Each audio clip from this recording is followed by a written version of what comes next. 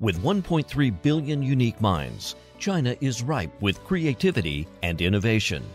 China credits intellectual property rights, patents, copyrights, trademarks, and trade secrets as the necessary precursor for creating a culturally rich and knowledge based economy.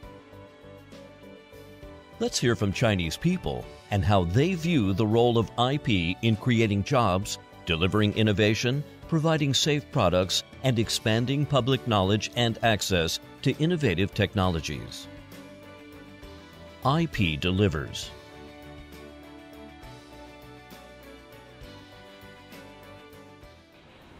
知识本身不是财富，但是对知识的利用，再加上法律对它的承认，就可以产生财富。知识产权实际上起一个点石成金的作用。China's entertainment industry is expanding and serves as a driver for job creation and GDP growth. However, China's creative industries are operating in a high piracy environment which limits their growth. Are things changing?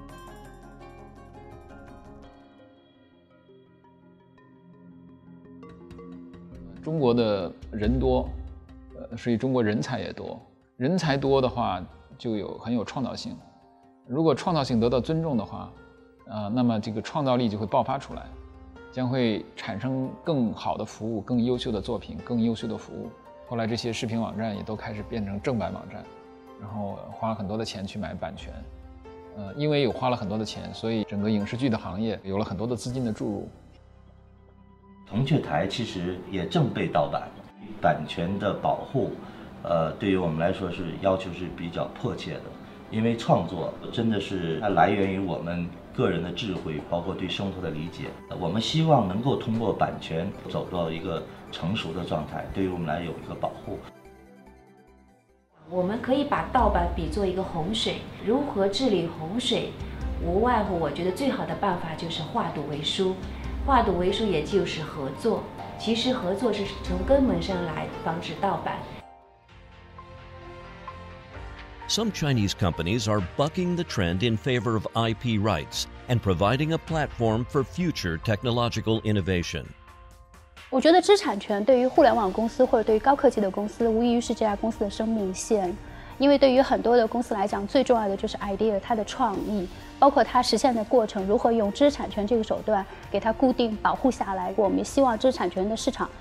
变得非常的干净和清洁。我们需要打击盗版，我们需要跟中国的其他的互联网公司一起来做这件事情。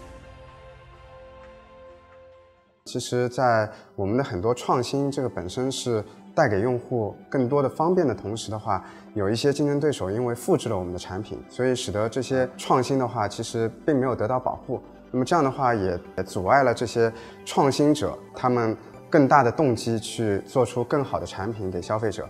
所以说，对于消费者而言的话，我觉得应该去抵制这样一种盗版的行为。Technology in the software industry is not only about productivity, but also consumer safety.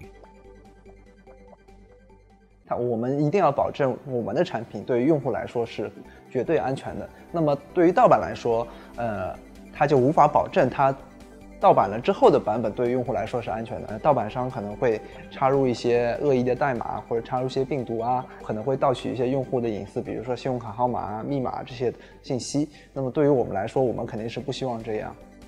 Companies, large and small, are now building brands in China and eyeing the global market. 国品牌的话，其实对中国整个整体经济所占的比重、所做的贡献的话，将会越来越大。那么，只有一百个品牌已经占到中国 GDP 的将近百分之五的话，其实是非常非常可圈可点的。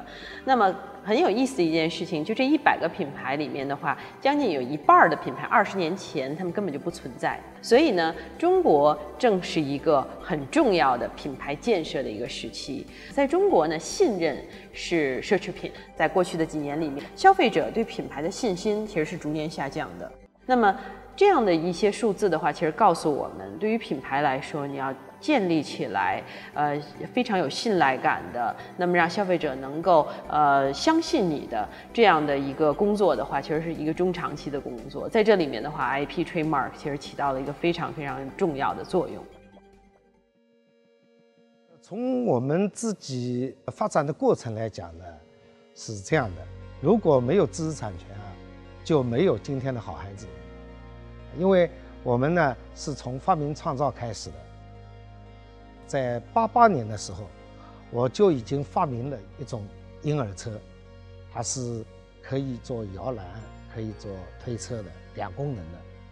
当时呢，我们没有制造的这个资金，没有办法把它去投产，我就把申请的这个专利卖掉了，得到了我本人啊。这个经商以来就第一桶金，啊，四万块钱。但是我们其他产品也同样受到消费者这么多的喜欢，我我相信是因为对于好孩子品牌的信任，啊，所以我们感觉呢，这个品牌对公司是非常核心的资源。Counterfeits can mean life or death. Fake medicines put patents in jeopardy and undercut a growing critical industry. China is ramping up enforcement efforts to eradicate counterfeiting. In 2014, the Ministry of Public Security won the IP Champions Award for Operation Cloud, a groundbreaking collaborative enforcement effort. 我觉得这个 呃，colorfit 就是那呃，从药也好，这个器械也好，各各方面的生物医药的呃健康的产品啊，主要就是两个问题，一个就是对于人民大众的安全问题。大家现在国内食品安全是老百姓呃高度高度关注的。如果对我们对吃的肉、这个喝的牛奶都那么的关注，那对药品的话，这个是更加是生命有关的东西。那么还有一个，当然，我们如果不把个假药、假产品毒死。那就没有人会好好去做创新的产品，创新的源头就会断掉。Also, critically important to consumers is a supply of new, life saving medicines. There is great optimism for China to discover new medicines. At the same time, an urgent need to change policies so this bright future will be realized. 中国的医药行业目前处在一个重要的转折点。我觉得二十年之后，啊，中国的医药行业会出现一些啊世界级的啊研发型的非常成功的公司。未来二十年的发展过程中呢，它是不会是啊一帆风顺的。这些问题啊，如果解决得快的话，那么啊新药研发企业的发展就会更加迅速一些。如果解决的慢，或者有的时候还走。回头路的话呢，那么在未来二十年的发展过程中，也不排除会有波折的情况的发生。对，从我的角度上来说啊，知识产权和专利的保护，其实呃，对于能够让我们把最好最新的呃新药送到呃病人的手中至关重要。如果呢没有创新，没有知识产权的保护呢，那么没有一个企业愿意花十二个亿美金。来这样的投入，这样的话，从源头上来讲，你就没给病人一个机会。An innovative technology sector is key to achieving a 21st century economy, and Chinese companies are investing in R&D and attracting talent. Flexibility in crafting employee incentive programs that fit the needs of their industry and company is critical. 目前为止，我公司的员工呢有六百多名。我们的员工呢，大多数呢都是研发人员，呃，数量大概在四百多名，有两百名生产人员。针对专利的申请，也制定出了一套 管理机制和激励机制。通过这些专利的申请呢，大大的激发了我们研发人员呢创新的这个活力。呃，目前乐视拥有三千多名员工，核心的技术人员呢，事实上我们大概在百分之四十，所以在乐视看来是一个非常重技术研发、一个创新的一个公司。也只有让更多的人尊重知识产权，才会有更多的人创造这些知识产权。大家肯定也知道，中国在 IP 这一块现在是处于一个转型阶段。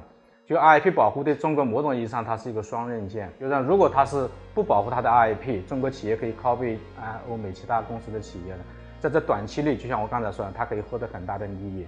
但是它同时，它在 copy 的同时，它把本土的创新的企业也会被灭掉，因为它需要更长的时间、更多的投入去做这一个嘛。所以从长期的角度来来讲的，如果中国的它的知识产权保护，一个是这是中国成成为一个全球的，就是 international player，但同时我就认为，它在中国培养这种创新文化以后，也这是中国有真正的具有创新能力的企业在中国本土成长起来，去去去跟欧美呃企业在一个同台竞争了。否则，我们永远是一个 copycat。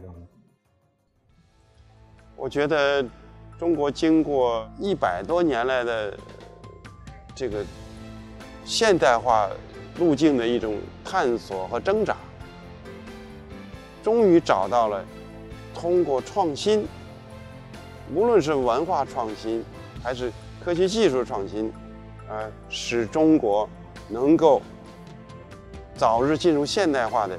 这样一个道路，我觉得这个这条路找到了。These are the faces of IP, the entrepreneurs, creators, and innovators. Who will be next? Will it be you? IP will be your partner, and together you will be the future of China and her possibilities.